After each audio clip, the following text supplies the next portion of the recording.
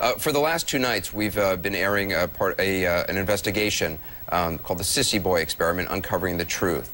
Um, it now moves to the present, tonight in part three. Over the last two nights, we've shown you what happened more than three decades ago to a little boy named Kirk Andrew Murphy, who got enrolled in a government-funded study aimed at making effeminate boys more masculine. He was just five years old. It was the early 1970s, and his treatment was called a success by the man who ran the study. But Kirk's siblings told us their brother was deeply damaged by the experimental treatment he received and struggled with being gay all his life. When he was 38 years old, Kirk Murphy hung himself. The research that was done on Kirk lives on, however. It's still being cited by those who think they can prevent kids from becoming gay. And some kids, like Kirk, whose parents don't want them to be gay, are being sent to something called reparative therapy. Ryan Kendall is a man who was sent to reparative therapy when he was a teenager. Here's Randy Kays with part three of our investigation. Growing up, Ryan Kendall had a secret, a secret he'd shared in the pages of his diary. But when Ryan was just 13, his mother read his diary and discovered Ryan was gay. It was the beginning of the most painful years of his life. I didn't question the world I had grown up in. I thought there was some legitimacy to this idea that I was an evil sinner who was going to burn in hell. And for years, I thought that God hated me because I was gay. Ryan says his parents were determined to change their son. As Ryan tells it, his parents signed him up for what's called reparative therapy with the National Association for Research and Therapy of Homosexuality, otherwise known as NARTH. Every day I would hear, this is a choice. This can be fixed. And did you believe that? I never believed that. I know I'm gay just like I know I'm short and I'm half Hispanic. And I've never thought that those facts would change. It's part of my core fundamental identity. So the parallel would be sending me to tall camp and saying, if you try really hard, one day you can be six foot one. Ryan says he was treated by Joseph Nicolosi, a clinical psychologist who today is still associated with NARTH the constant refrain was the religious one that this is an abomination, that this is a sickness that can be fixed, that you don't want to be an effeminate man, so you want to butch up, that this is something that makes God cry, that this is something your family doesn't want for you. At his office outside Los Angeles, we asked Nicolosi if he remembered treating Ryan Kendall about 14 years ago. I'm not familiar with the name at all. His parents have provided bills yes. from your office. Yes, there have been yes, checks written to your office, but no record. No. He says that, that your therapy was quite harmful. He said that he was told 1% of the world is gay. It's 2%. He said that you told him to butch up quote unquote. Never. That's um, not our language. And that when he was sobbing, he was told that it was wrong Absolutely to be a homosexual. Not. Absolutely. We do not do that kind of work. When the client begins the session, how can I help you? What do you want to work on today? I have to be seen as an ally, a helper, a good father figure, a good male image. This is what's curative. I have to be the man who accepts you for who you are. When somebody says people like yourself, others are trying to get the gay out of people. That's a terrible way of phrasing it. I would rather say we are trying to bring out the heterosexuality in you. It's still a struggle. At 14, Ryan says he had no interest in changing or continuing therapy with Nicolosi. Did Nicolosi understand that you were there against your will? Absolutely. Nicolosi knew that I wasn't a willing participant, but this is what he does. He takes in gay kids whose families want them to be straight, and he goes to work on them. Nicolosi told us that's not true.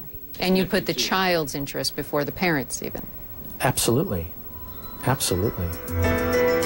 He says he's kept hundreds of children from growing up to be gay.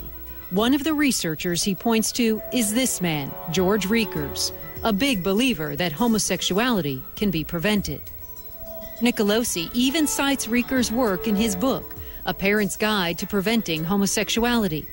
He uses Rekers' therapy with a feminine boy as evidence that therapy can keep children from growing up to be gay. He writes that growth into a heterosexual identity is indeed possible. George Rekers has done pioneering work in this for many, many years. What Nicolosi didn't know until our interview was that the young boy he cites as a success story, whose real name is Kirk Murphy, struggled with being gay his entire life. He committed suicide in 2003 when he was 38 years old. Kirk's family says the torment brought on by the therapy is why Kirk took his own life. But Rekers argues there's no way to prove his therapy had anything to do with Kirk's suicide decades later. George Rekers has done a lot of research. He's done a lifetime of research. If there is somebody who committed suicide, that's tragic. But we have to look at the body of literature. That's what we're relying on. Nicolosi claims science supports the idea that people are not born gay. We say that homosexuality is an adaptation to an emotional breach with the parents, primarily parents of the same sex. So for the boy, it's an emotional breach, a failure to bond with the father. Dr. Joseph Nicolosi simply makes things up when it comes to science. Wayne Besen is an advocate for gay equality with the organization Truth Wins Out. He says a person who is a gay man is a distant father and isn't good at sports. I, for example, was an all city basketball player in high school and am incredibly close to my father. The American Psychiatric Association opposes reparative therapy. The group's position statement says the potential risks are great, including depression, anxiety, and self destructive behavior. Nicolosi says his therapy isn't harmful, and he only treats people who want to change.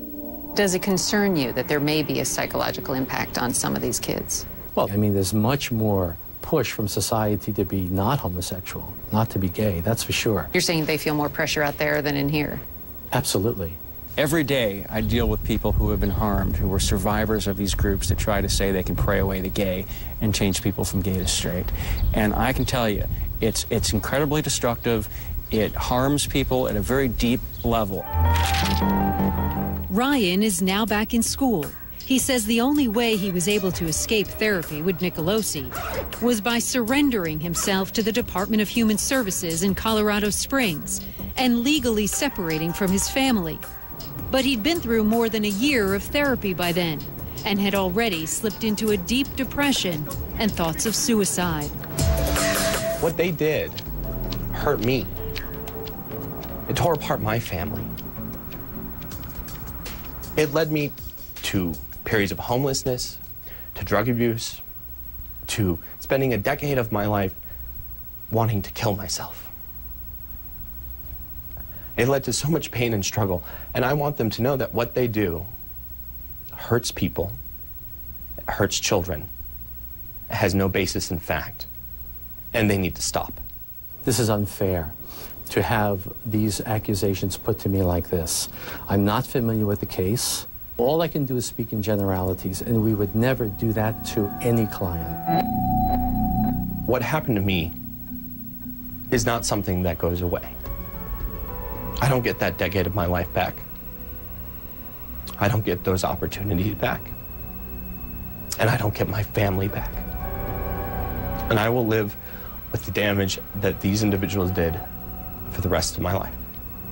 Now 28, Ryan has plans to become a lawyer one day to advocate for children because he says no one was there to stand up for him. Randi Kaye, CNN, Los Angeles.